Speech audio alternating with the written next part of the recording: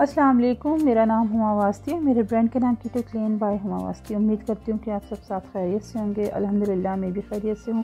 तो जनाब, अपना व्लॉग स्टार्ट करते हैं, बिस्मिल्लाहिर्रहमानिर्रहीम।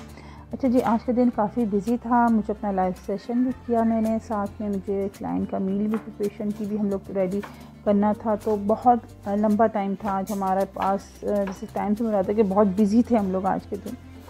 तो सबसे पहले हमने सैलिड की प्रिपरेशन स्टार्ट करते हैं क्योंकि उसकी कटिंग में ज़रा टाइम लग जाता है।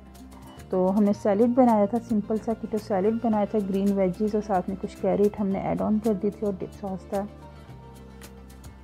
अच्छा ये चिकन हमने मेरीनेशन के लिए जो है घर के मसाले नमक काली मिर्च धनिया पाउडर साथ में कड़ी पत्ता वगैरह और गार्लिक पाउडर ये सब मैंने इसमें ऐड करके इसको मिक्स कर लिया। अच्छा इसमें असली घी भी जो है वो भी मैंने ऐड किया था। तो चिकन आप बोनलेस भी ले सकते हैं विंग्स भी ले सकते हैं गोल्डन चिकन भी ले सकते हैं ब्रेस्ट पीस भी ले सकते हैं, वो आपकी मर्ज़ी है ना।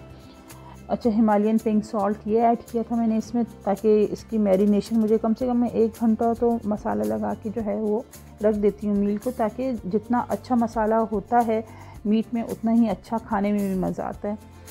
तो साथ में अच्छा एक और ऐसा इंग्रेडिएंट था जो हमने ऐड किया, लेकिन वो फ़र्स्ट टाइम तो नहीं, मैं दो तीन दफ़ा उसको अपने खाने में यूज़ कर चुकी थी, वो थी कॉफ़ी कॉफ़ी का पानी जो है वो मैंने इसमें ऐड किया था, और क्योंकि इससे इसका कलर और इसका टेस्ट बहुत अच्छा हो जाता है। साथ में कड़ी पत्ता वगैरह ऐड करके इसको फिर मैंने मैरिनेशन के लिए रख दिया। ओके जी, फिर हमारा सैलेड का जो है वो डिप सॉस सब रेडी हो गया था।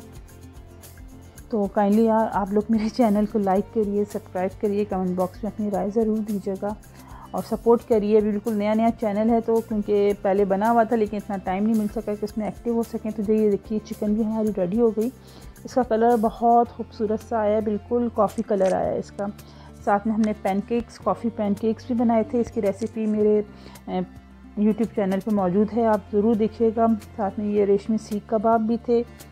तो और उसके बाद फिर मुझे अपना लाइव सेशन करना था क्लाइंट से बातचीत करनी थी, माशाल्लाह से बहुत ज़बरदस्त मेरा ये लाइव सेशन गया। पूरे एक घंटे का मैंने ये लाइव सेशन किया। तो काइंडली अपना बहुत सारा ख्याल रखिएगा। इन फिर मिलते हैं नेक्स्ट ब्लॉग में। अल्लाह हाफिज़ टेक केयर